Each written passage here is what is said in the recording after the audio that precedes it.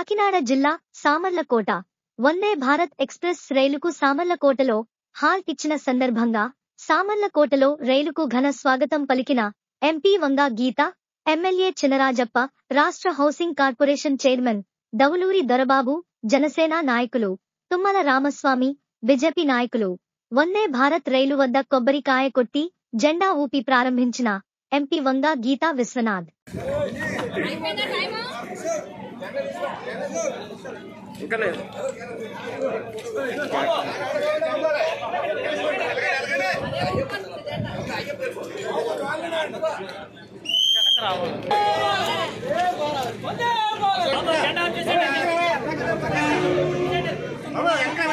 అన్న అన్న అన్న తను ఎదురుగా నువ్వు ఎదురుగా